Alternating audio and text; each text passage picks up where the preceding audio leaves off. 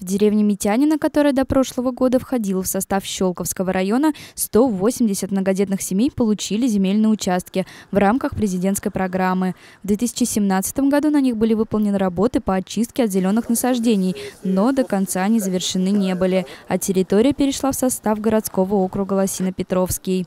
Владельцы участков обратились с просьбой вывести порубочные остатки в администрацию нашего городского округа. Понедельник исполняющий полномочия главы Сергей Горелов и временно исполняющий обязанности главы Лосина Петровского Иван Курданин выехали на место и пообщались с инициативной группой. Территория Лосина-Петровского, но жители, которые являлись э, на тот момент многодетными семьями, они получали все-таки эту землю от Челковского муниципального района, а значит есть и некая зона ответственности по тем работам, которые здесь не были проведены в, в прошедшие годы. Решение по данной проблеме одно помочь семьям. И делать это будут два муниципалитета совместно. В ближайшее время на участке выйдет большегрузная техника, которая соберет строительный мусор и дробильная машина.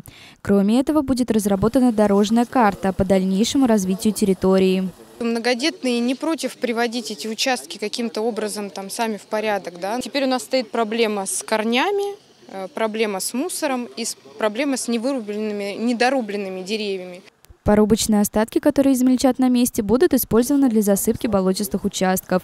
Финансирование всех работ будет производиться из внебюджетных источников. Екатерина Сусенко, Игорь Поляков, телерадиокомпания «Щелково».